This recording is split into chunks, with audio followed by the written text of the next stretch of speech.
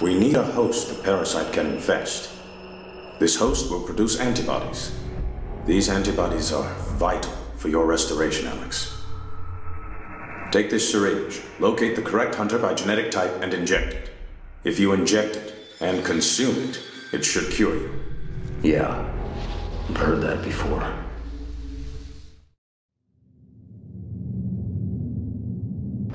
This aircraft has a DNA sensor array. Ah.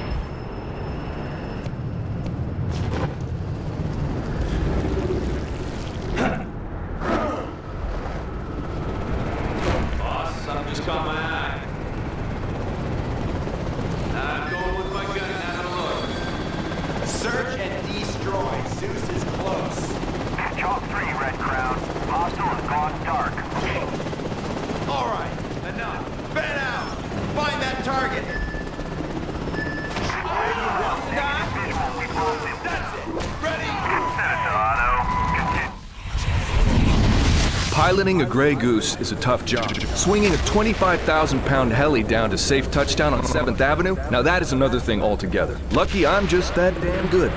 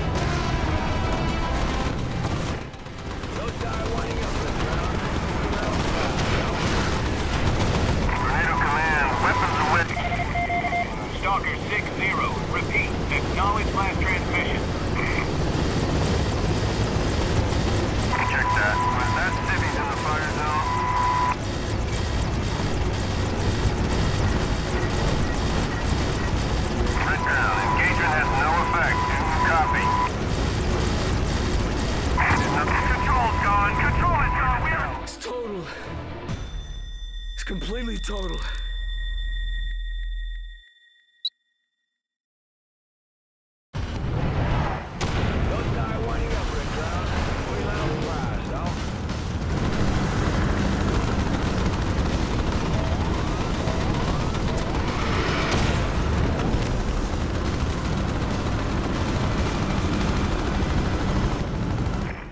Requesting clearance to begin target sweep Red Crown. Job over.